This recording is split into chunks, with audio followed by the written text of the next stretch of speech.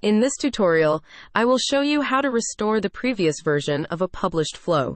This feature allows you to revert back to the previously published state of your flow if you mistakenly delete some blocks in your flow, or if you incorrectly make changes to your flow. Here I have a published flow. I will make some modifications, publish it, and then revert it back to this version. Let me show you.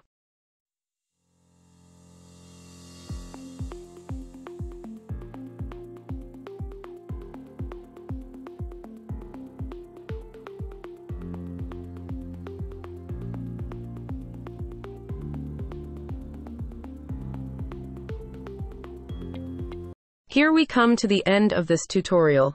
Thank you for watching.